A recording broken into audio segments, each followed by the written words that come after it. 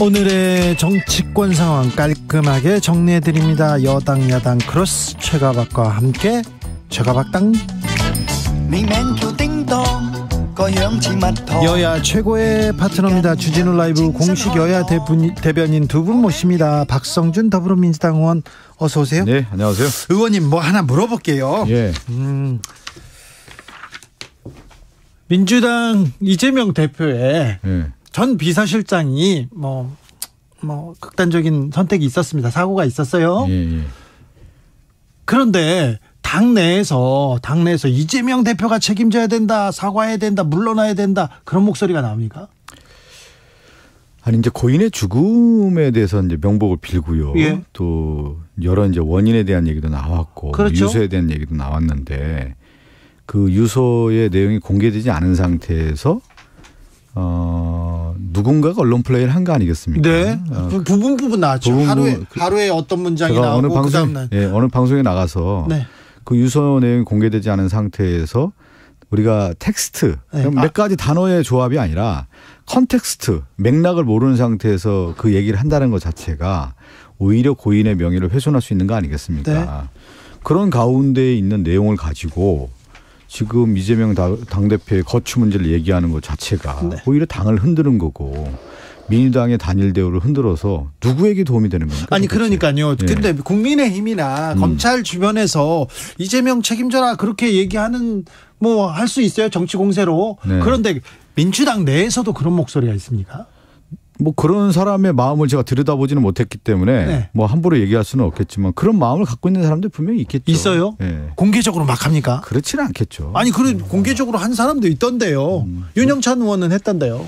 그거는 뭐 유영찬 의원님의 이제 개인적인 생각일 테고요. 개인적인 생각인데 음. 친 이낙연계 뭐또 또뭐 저는 뭐 지금은 만만치 않은 영향력. 네.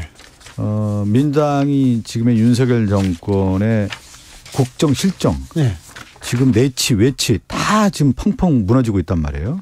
아니 도대, 근데 도대체 아니 그러니까 네. 그 얘기는 왜 그, 자세히 안 하고 제가 이제 마- 그 그러니까 우리가 뭐 선당우사 얘기하는 분도 많이 그러는데 지금 나라가 이렇게 국정이 혼란스럽고 좀 무너져 가고 있는데 그러면 야당이 바로잡아야 되는 거 아니겠습니까? 그럼 야당이 바로잡으려면은 야당이 좀 단결하고 내부 통합을 이루어야 되는 것이죠. 그것을 통해서 윤석열 정권의 실정에 대해서 당당히 맞서야 되는 것이죠. 근데 당당히 맞서기 전에 지금 내부 통합에 음. 약간 진통이 있다 이렇게 봐야 됩니까? 내부 진통은 좀 있다고 봐야 되죠. 아니 모든 정치가 네. 뭐 국민, 국민의힘 전당대회 보면 엉망이지 않았습니까? 내부 진통을 넘어서 완전 흙탕물 싸움 아니었단 말이에요. 지금 그런 그런 가운데 국민의힘 지금 집권 여당의 모습이 없는 거 아닙니까? 그런데 저- 제가 막 들어왔습니다. 이제 네. 그 최영도 의원님. 하고 마무리 한 다음에 말하시면 안 됩니다. 또 마무리 그렇게. 얘기하고요, 제가. 자, 아이고. 그런 아니, 가운데 내부 진통, 있어요. 내부 진통 분명히. 있는 것이죠. 자, 뭐, 자 최영도 의원님 오셨어요? 예, 아이고 들어오다가 이- 저 엉뚱한 사람이 주차를 한다고 막 차를 들이미는 바람에 고생하셨어요. 고생했습니다. 네. 이런 일도 생기네 미리 와야 되는데. 아니 그래서 아니 잠깐만 제가 음. 지- 저도 질문할게요. 이게 최영도 의원님 같은 훌륭한 분이 지금 그 전당대회 끝나고 나서 이런 분들이 일을 해야 되는데 보니까 윤핵관들만 일하는 것 아이, 같아요. 말씀을. 당직을 다 윤핵관들이 차지한 것 그렇죠. 같아서 지역적으로 아또 그렇죠. 예. 세대적으로 잘 반영을 했고요. 저희 파트너인 최영도 의원님이 좀 저는 이제 일을 하셨어야 될 이제 텐데. 공보통 이런 걸 좀 벗어나야죠. 정책통, 기획통, 전략통 이런 거 되고 싶어서. 근데 그런 자리는 왜안왜안 받으셨어요? 주는 거예요? 아니 공보 저 공보 말고는 전략 기획을 경험한 적이 없어서 이제 그 열심히 하려고 합니다. 아니 충분히 그렇고 자 이제 그 이 야당 민주당에 그 대한 것은 뭐 걱정들이 많으니까 전 더 이상 이야기하지 않겠습니다만 뭐 다 그런 이유가 있겠죠. 그러나 이, 이 모든 일이 뭐 갑작스레 그 하늘에서 떨어진 일도 아니고 원래부터 다 그렇게 되면 저렇게 민주당에 큰 문제가 있을 것이다 걱정했던 거 아닙니까? 네. 최영도 의원님 하나만 물어볼게요. 예, 예. 배현진 의원은 초선이고 예. 네. 뭐큰 자리 받으셨던데 아니 더 능력 있는 최영도 의원은 왜 못 받았냐 이런 얘기를 그 수도권 서울 아닙니까? 서울 서울 국회의원이고 서울에서 강남에서 누구나 30대 여성 우리 당에서는 정말 귀한 자원이지 송, 않습니까? 송 파입니다. 예, 그렇죠. 그리고 송파에도 지난번에 민주당 되고 그랬어요. 민주당 의원을 현역 의원을 상대로 해서 선거에서 이긴 사람 분이고 예. 말이 안 맞는 거고요. 30대 지금 의 인선한 거 보면 다 여성의- 윤핵관들 예. 했어요. 그뭐 남의 하지 말고 아무튼 스스로 내부 거울부터 잘 닦아 주십시오. 자, 아무튼 그 국민의힘 그 아니 잠깐만 인선을 보면 그림이 나오잖아요. 그 지금 보면은 참그 예? 인선 자체가 딱 보면 박 아니 그 사무총장이라든가 전반적으로 내 내용을 보면 민주당 아, 이렇게 가겠구나. 하세요. 민주당 뜻대로 아니 아니 집권당이 걱정돼서 얘기하는 거죠. 우리는 알아서 할게요. 네. 네. 우리 당도 잘 알아서 합니다. 내일 걱정이 김기현 대표와 이재명 대표가 만난다고 합니다. 그동안 좀 소원했던 협치, 그동안 살 실종됐던 정치 좀 복원되는 겁니까? 최영도 의원님? 뭐 만나야 되고 이야기해야 되죠. 더군다나 지금 민주당이 이 사법 리스크를 당 대표 사법 리스크를 돌파 돌파하기 위해서 나름대로 자기들 나름대로는 다른 리스크를 덮고 이걸 하기 위해서 여야에 간에 이런 쟁, 쟁 공방을 거세게 만들고 또 뭐 과거에 다수당으로서 다 법안 처리할 수 있던 거안 했던 이유가 다 있는 건데 그걸 갑자기 뒤집어서 지금 밀어붙여서 뭐 총 공세하듯이 하고 있지 않습니까? 하고 있는데 당 대표끼리 이제 그런 진작을 해야죠. 좀 했으면 좋겠고 그다음에 그 참 대선 과정에서 우리 저 이재명 대표가 우리 김기현 대표한테 얼마나 험한 말을 했습니까? 진짜 입에 담을 수 없는 말을 했는데 그런 말도 좀 사과하시고 그리고 야당도 저좀 이렇게 좀 정도를 따라서 나라 걱정 같이 하고 이런 이런 모습 보여주면 좋겠죠. 아니, 지금 보면은 요즘에 국민의힘은 일본에 대해서는 굴종하고 다 바치면서 사과 발언도 못하라고 한 번도 얘기 못하면서 아니 당 대표 되자마자 그럼 그 야당 대표한테 사과 발언하라고 하는 게 타당한 겁니까? 그랬습니까? 아니 지금 지금 얘기하시는 거 아닙니까? 아니 아니 그건 네, 그건 말이 안 맞는 거고 또 하나. 제가 지금 얘기 아이고 이재명은 무슨 신입니까? 뭐 해놓으면 잘못한 것도 아니, 좀 반성하고 말씀드릴게요. 되지 뭘 그 가지고 그리고 일본에 아니, 대해서는요. 아니 제가 좀 얘기해야 아니, 되는 그, 거 그렇게 아닙니까? 말을 막 타고 넘, 그리고 저 박의님 닮지 않으시게 은근슬쩍 해놓고 무슨 뭐 그런 식으로 하지 마시고 일본에 대해서는 우리가 정말 미래를 바라보고 오히려 그 김대중 대통령 시절 노무현 대통령 시절 또 문희상 전 국회의장 했던 그 노력을 민주당 노력이었습니다. 그 얘기는 제가 할 얘기가 많은데. 국민의힘이 상당히 지금 왜곡해서 좀 말씀하시는 거라고 좀 얘기하고 추후에 노- 논, 논, 논의의 장이 있다면 더 얘기를 드릴 텐데요. 네. 요 얘기는 좀 말씀드려야 될 것 같아요. 좀 네. 국민의힘의 전반적인 흐름을 보면 다- 전당대회도 그렇고 대통령실이 상당히 개입하고 지명대 형태가 됐단 말이에요. 한국 민주주의 역사에서 대통령의 권한 이 집중됐을 때 그것이 권력의 폐해가 현상이 있었기 때문에 그동안의 민주주의 역사는 뭐였냐면 당정 분리를 통해서 당도 대통령과 태- 청와대 대통령실에 대해서 건전한 견제를 해라고 해서 당정 분리가 그동안에 이루어져 왔단 말이죠. 근데 지금 보면은 당정 일치로 가고 있는 것이 과연 시대에 맞느냐 역행을 하고 있는 것이 지금 집권당의 모습이고 지금 제가 그 얘기를 왜 드리냐면 김기현 대표가 과연 그러면 운신의 폭이 있냐 지금 볼 때 앞으로 국민의힘의 당, 당의 운영이 있어서 대통령의 한 명만 있는 거 아니겠습니까? 이렇게 돼버리면 그러니까 이 김기현 대표가 어떤 역할로 할 수가 있겠습니까? 그러한 움직임들을 이미 전당대회에서 다 보여줬기 때문에 그동안 한국 역사 정당사를 보십시오. 어, 최영도 의원님 잘 아시겠지만 당정 분리하는 쪽으로 가지 않았습니까? 왜 그러면 대통령의 권한이 집중됐을 때 그 권력이 아이고, 퇴행적 참. 구조라는 것이 얼마나 그래, 난 있었습니까? 그래서 이렇게 왔는데 오히려 지금 참 이렇게 하는 모습이 그 퇴근 시간에 저는 박 의원님이랑 우리 뜻- 저 지금 청취자들한테 조금 그래도 조금 더 재치 있고 예? 조금 더 조금 더 그래도 미래적인 이야기 했으면 좋겠습니다. 그건 뭐 사실 민주당 스스로 누워서 침뱉게 하는 이야기고요. 그 그럴 리가 있겠습니까? 당은 선거를 앞두고 있으면은 당에서 민심이 가장 빨리 저, 저, 저, 전파, 이, 저, 감지되는 곳이고 또 정부는 일관성과 따라서 어떤 정책을 위해서 당과 소통하는 그런 또 기란 관계, 갈등 그런 긴장 관계가 있죠. 그런 긴장 관계는 어느 당이나 피할 수 없고 그, 이, 저, 지금 이 김기현 신임 이제 대표도 어, 52%죠. 53% 가까운 지지로 가반 득표를 해서 했는데 또 당의 체제를 정비해 가면서 이 당의 목소리를 더 전하겠죠. 더 전하고 그리고 지금 무엇보다도 시급한 경제, 민생, 외교, 안보 이 문제가 많기 때문에 의원들도 더 적극 역할을 할 겁니다. 저는 이제 민심의 쓴소리를 전하는 게 당의 역할이라고 지금 최영주 의원님 말씀하셨으니까 예. 저도 같은 생각이고요. 그렇게 해야 되는 건데 지금 내치라든가 외치 지금 대통령께서 69시간 재검토하라고 얘기하지 않았습니까? 네. 이게 전형적으로 뭐냐면 그동안의 노동계라든가 MZ 세대라든가 쭉 얘기해 왔어요. 예. 그리고 국민의힘 자체에 있는 의원들도 아마 이, 이것이 잘못됐다고 생각을 많이 했을 텐데 닫고 있었지 않았습니까? 그래서 결국 이런 사태가 벌어졌다.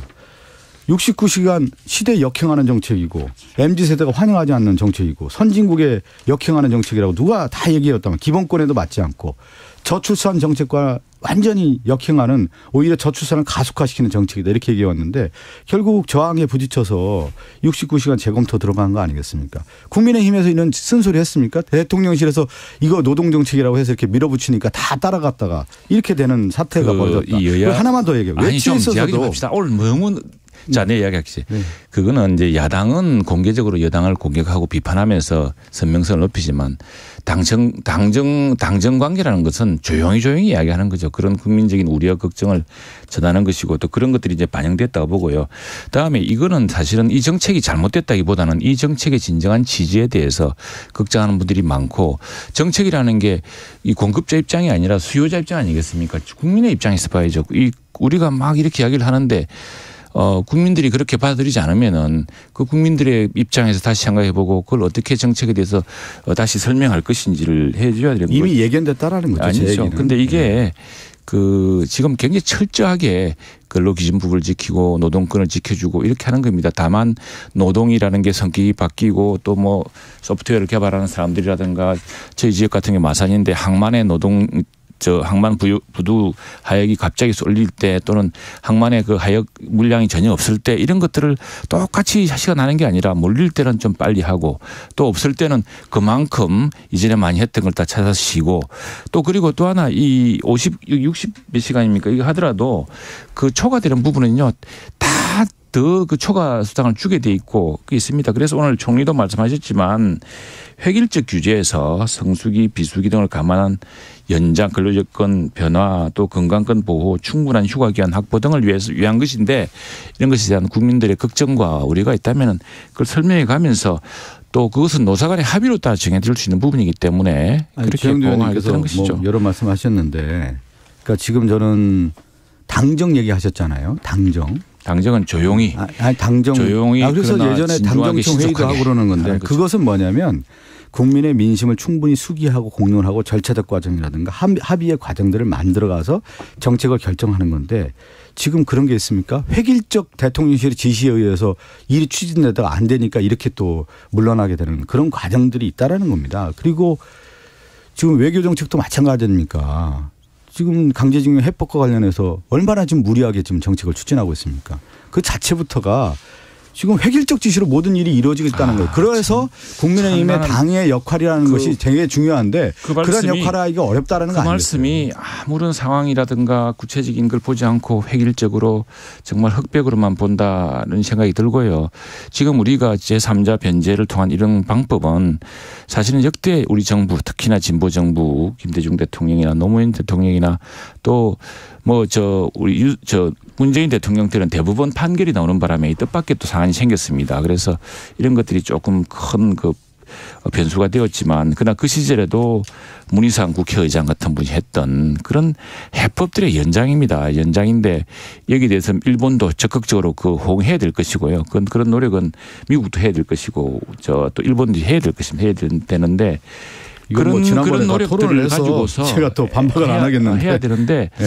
지금 너무 민주당에서 말씀하시는 것은 이게 무슨 내가 지난번에 말씀하셨지만 그냥 뭐 이완용 나오는데 정말 한번 쪽보 따져보면 누가 누군지 그 따져보면 또 참 전혀 엉뚱한 일이 생길 텐데 무조건 이렇게 반일로 친일로 가려고 하는 건 문제가 있다 봅니다. 최영도 의원님, 어, 내일 모레입니다. 이번 주에 한일 정상회담이 네. 있습니다. 뭐, 뭐, 긴자에 어느 음식점에 간다, 뭐, 세부 일정이 나오기 시작했는데, 사실, 어, 정부에서, 윤석열 정부에서 강제 동원 해법을 내놓고 나서 우리 국민들은 좀 굴욕적이다, 자존심 상하다는 사람이 많고, 일본에서는 기시다, 잘한다, 이런 박수가 많습니다. 좀 정상회담에서는 우리 국익을, 우리 국민들의 자존심도 세우는 그런 뭔가 해법안이 좀 나와야 됩니다. 우리 우리의 우리의 원칙은 국이고 국익이고요. 예. 국익입니다. 지금 저 민주당이 이렇게 말씀하시는 것도 대단히 서운한 일이고 또 사태의 본질을 어 지금 부인하는 거라 생각합니다. 이 지금 지금 윤석열 정부의 노력이 김대중 정부 노무현 대통령 때 당시 이 한일 협약에 대한 해석 다 이어지는 부분입니다. 이런 부분이 있는데 지금 그것도 좀 극단적입니다. 근데 일본에서 기시다를 지지하는 사람 상케이 같은 신문을 일본의 대표적인 언론이라고 할 수 있습니까? 예? 그리고 일본 내에서도 지금 일본의 그 저 심지어 우파들도 그동안 이 한국 정부에 대해서 우리가 조금 한국에 대해서 어 그동안 좀 오해했었다. 한국이 진지한 노력을 다하고 있다. 우리도 역사적인 그 보건 노력을 다 하자라는 여론도 생기고 있고요. 그런 여론을 더 확산시켜서 한일 관계를 미래지향적화하는 게 더 중요하지 않겠습니까? 아니, 좀- 우리 우리 쪽에도 이제 서운하고 걱정하는 부분이 많지만 어느 대통령 어느 정부가 대한민국 정부가 우리 국익을 위해서 일을 하지 일본을 위해서 그렇게 하겠습니까? 뭐 김대중, 문재인, 노무현 정부까지 다 얘기했는데 이러한 강제징용, 강제 동원 해법과 관련해서 그동안에 논의됐던 것은 일본 정부라든가 일본 기업까지 다 참여시키는 거 아니겠습니까? 지금 그 이 윤석열 정권에서 내세운 이 해법이 어디 그게 있습니까? 그런 내용이 하나도 포함되어 있지 않습니까? 그러니까 문재인 정부 자, 전혀 잘 해법을 들어보세요. 모색하지도 아니, 않았죠. 잘 들어보세요. 그래서 모색하지도 않았습니다. 지금 그러니까 국민들이 다 이 굴종 외교라고 하고 이게 이게 자존심 다 상해고 어디가 있느냐 국익이 일본 국익만 남아 있다 이렇게 얘기하는 거 리가 아니겠습니까? 있습니까? 그러니까 제가 아니, 큰 정당이면 그렇게 아니, 분명하게 말씀하시면 안 되죠. 그러면 이러한 내용 야당하고도 얘기도 해보고 합의를 만들어야 되죠. 그냥 국민의힘 내부에서 이 논의가 됐습니까? 제가 볼 때 논의도 안 되고 대통령실에서 그냥 이거 하자 지시하니까 외교부가 발표하고 그런 내용 아닙니까? 제가 볼 자, 때 이게 참 한일 양관에 정치가 끼어서 참 어렵습니다. 우리 내부에도 민주당에 특히 궁지에 몰려온 민주당의 일부 정치 지도자들이 이 사안을 가지고 반일 죽창과 선동을 하고 있는데 일본도 똑같습니다. 일본도 일부 그 우파들이 이런 사안을 가지고서 선동을 하고 한일 간에 틈을 내고 기시 다 잘한다 박수 기시다도 그 눈치 보느라고 지금 제대로 못 움직이고 있는 게 있거든요. 자, 이 제3자 변제라는 것은요. 문재- 문재인 정부 때 문인상 국회의장이 말에 담깁니다. 문인상 국회의장이 누구십니까? 한국 일본 아니 저 기업가 자세히 보세요. 국민의 문희상 의장이 그렇게 얘기 안 했어요. 아니, 한국 일본 기업가 아니 왜 그걸 다 달리 해석하고 그래요. 제가 왜- 말씀드렸잖아요. 아니 그왜왜 네. 왜 역대 정부가 일본 기업이 있잖아요. 다 포함되어 있죠. 있죠. 네. 예, 지금도 일본 기업이 일본 기업이 이 문제에 대해서 다른 방식으로 변제를 하게 돼 있습니다. 그런 구조고 여기서 이제 역사에 대해서 일본 정부가 좀 더 허심탄회하게 어 과거에 그걸 개성할 뿐 아니라 반성하고 진성한다 이런 게 나오지면 바라고 있고 또 그렇게 노력하고 있는 것이고요. 이겁니다. 지금 한일 협정 때 이 국제법상으로는 우선에 협- 이 지난번 협정 때 모든 일이 다 이루어졌고 또 아니, 노무현 대통령 때 그건 잘못된 해석. 한일 외교 문서를 보니까 참 당시에 우리 정부로서는 이 문제에 대해서 모든 것을 변제받은 것처럼 해석될 수 있는 여지가 있어서 그 문제는 그래서 2018년에 당시에- 대법원에서 판단을 다시 내리지 않았습니까? 근데 그게 또 이제 법원의 판례를 바꿀 건데 그것도 국제법적으로는 또 다른 파, 저 해석도 있고 이게 새로운 이제 해석, 해석이죠. 해석인데 그런 그 저 정의론적 관점 또그 개개인의 그 불변의 그런 개인의 권리에 대한 것들이야 우리가 다 존중하고 해야 되는데 문제는 상대가 있는 것이기 때문에 0345님께서 두 분 마이크 꺼졌을 때 사이 괜찮으시죠? 아, 괜찮습니다. 그 두 분은 나가서도 토론을 끝내지 않습니다. 그런데 둘이서 아유 계속 얘기합니다. 근데 지적 수준은 굉장히 높으신데 예, 마이크 앞에서만 나오면 좀 약간 너무 좀, 좀 격하게 이렇게 얘기하시는 것 같다 이런 생각도 듭니다. 자 간단한 거 몇 개 물어볼게요. 간단한- 간단한- 간단한 거요. 최영두 의원님, 네. 어, 최영두 의원님은 그 어, 국민의힘의 뭐 몇 안 되는 외교통이라고 볼 수도 아닙니다. 있어요. 무슨 외교에? 대해서 공부가 근데 깊이 있는 공부를 하셨어요. 그런데요. 네.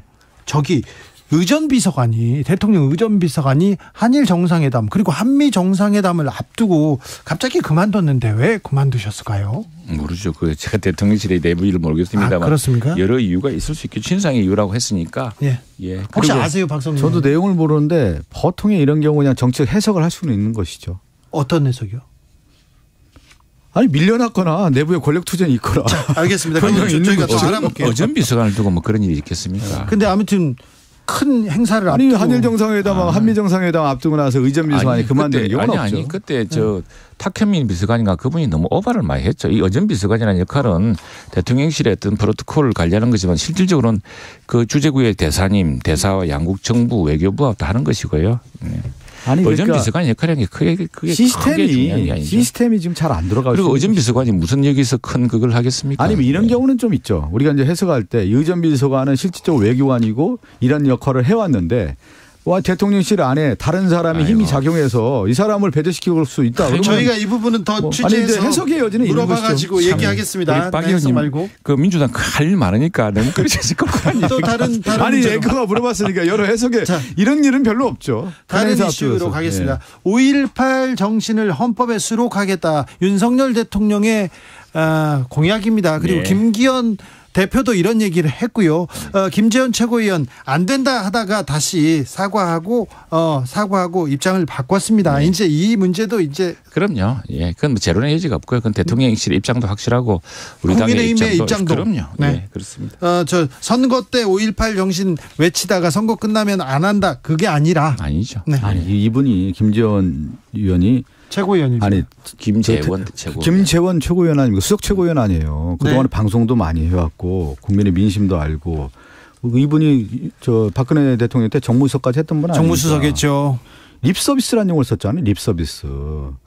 그건 뭐냐면 진정성이 없는 거죠. 그리고 이것은 어 실제 자기의 생각을 얘기한 거죠.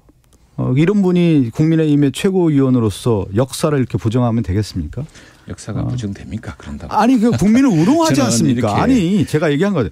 수석 최고위원이 이 정도의 얘기를 했다라고 하는 것은 참. 그러면 대국민 사과 발언을 해야 되는 자, 거예요, 정말로. 민주당도 좀 앞서갑시다. 지금 이제 저 여기 앞서가는 게 아니라 뒷북치고 이런 얘기를 하면 안 되는 거죠. 뒤떨리지 말고 지금 김재원 대 최고도 그건 그 당시 상황에 자기가 한 말도 아니고 네. 그 주최 측에서 이렇게 물어서 목사한테. 어, 뭐 그렇게 아니 물어봤는데 뭐 그렇게 얘기해 우롱하기 위한. 수단 아니에요 이거는 그리고 정말. 그렇지 않다고 이야기하고 당에서도 아니. 대통령실에서도 적각 이야기했으면은 이제 그 해야지 이제 저 미래를 봅시다. 아니, 꼭그 문제가- 지금, 아니. 지금 그렇게 일이 없습니까? 일이 없는 게 아니라 국민의힘의 일이 이 정도 역사관을. 갖고 있다라고 하는 지금 이 역사 문제에 것이죠. 대해서는 인식은 분명하고 마침 내일 또 우리 3.15 이거 4.19의 정말 도화선이자 4.19의 전반부였던 3.15 이거 마사 차원에서 특별히 3.15 정신도 같이 아니 그 정신에 있는 넣었으면 의원님이. 김재원 최고위원한테 경고해야 되는 거예요. 네. 이러면 안 된다. 진짜 경고해야죠, 이거는. 경고해야죠. 네. 이미 경고 받았죠. 네. 이 아니 방송에서 아니 아니 이미 의원이 경고를 하셔야 돼요. 그리고 지금 이분이 그래야 국민의힘이 건전한 정당으로서 나, 나갈 수가 있는 그리고 거죠. 지금 개헌은 그런 개헌은 불가능하다라고 체질 하는 이야기 예, 알겠습니다. 보시죠. 최영도 의원님 일본에 가서 1박 2일 정상회담을 하는데 우리 대통령한테 대접한다는 음식이 오므라, 오므라이스라고 한답니다. 오- 그거 오므라이스에 대해서는 어떻게 생각하십니까? 아, 그게 이제 도시마다 대표적인, 근데 모르겠어. 자세히 모르겠는데, 이 노포라고 있지 않습니까? 네. 그 전통 있는 가게. 근데 미국의 오바마 대통령도 하노이 갔을 때, 쌀국수 하노이 먹었죠. 쌀국수, 하노이 그 포집인가? 베트남 포 쌀국수 집 가가지고, 그게, 그게 그 어디냐면, 정상끼리 먹은 게 아니라 그냥 먹으신 것 같아요. 그러니까 정상이 이제 같이 가면 더 의미가 있는 거지. 네, 그렇 혼자 가서 머셔 먹었는데 그때는 어떤 얘기도 있었고 다른 얘기도 있습니다. 저는 근데 이게 아마 정상 양 정상 간에 좀 깊이 있는 서로 신뢰를 쌓아야 되니까 네. 예, 왜냐하면은 이 기시다 총리도 정치인이고 더구나 지금 일본 무파로부터 지금 지지 기반도 많이 약해요. 그렇죠. 압박 많이 그러니까, 받죠. 그러니까 흔들리니까 이럴 경우에는 좀 지지 기반이 높아지면은 좀 폭넓은 행보를 할 수 있는데 이 잘못 자칫 삐끗나면은 자기가 당에서 지금 크게 그러니까 이게 민주 정치랑이 참 어려운 것 같습니다. 이게 내, 그, 래서 우리 내치와 대통령한테 지금 부대접하는 거 아닙니까? 그게 무슨 부대접입니까? 아니 오므라이스라니. 아니 부부 동반으로 정식 만찬을 하고 네. 두 사람이 더 친목을 과시하기 위해서 한 번 더 먹는다? 한 번 더 먹는 거 두 번 먹는 저는 아니. 뭐 이런 그걸 아니 잠깐만요. 아니, 아니 물어보는 아니, 거예요. 아니, KBS 이런 내용도 있- 있지만 정말 정상회담을 하고 강제징용 강제 동원 해법과 관련해서 이- 윤석열 정권에 말도 안 되는 안을 내놓지 않았습니까? 그러면 16, 17왜 양일간에 아거 잠깐 들어보세요. 참나. 16, 17 이전에 다저 이어 아니, 저 개성한 정도- 거예요. 아니, 저 조금만 얘기는- 들어볼게요. 네. 아니 그러면 이렇게 국내에서 혼란한다고 하면 혼란스럽게 얘기가 나오고 많은 질타가 있으면 이번 정상회담에서 무엇을 할 것인지 의제에 대한 얘기를 한다든가 그리고 앞으로 무엇을 할 것인가 독도 문제라든가 지소미아라든가 그 후쿠시마 그 원전 오염수라든가 이런 문제는 어떻게 할 것이고 정말 깊이 있는 얘기를 할 수 있는 토대를 만들고 거기에서 테이블 안에서 우리가 어떤 의제를 만들 것인가 이런 얘기들이 나와야 되는 거예요. 벌써부터 나와야 되는 겁니다. 네. 자, 그렇게 양- 해서 정리가 돼야 되는 거. 하나하나 정리가 돼서 우리는 이런 얘기를 할 것이다. 그렇게 해서 이렇게 나와야 된다라고 이미 사전에 다 얘기가 돼야 되는 거예요. 지금 그런데 제가 볼 때 내용 하나도 안 됐을 자, 거예요. 저 우리 네, 박 의원 잠깐 말씀드리면은 그런 건 이제 정부 차원에서 또 환경부 차원에서 양국 간에 그 레벨에서 해야 되고 하고 있는 거고 과거에 김대중 정부는 처음에 한일 관계를 확 개선시키기 위해서 할때 최영도 당시에 예 시간이 됐어요. 당시에 그 일본 박성준. 때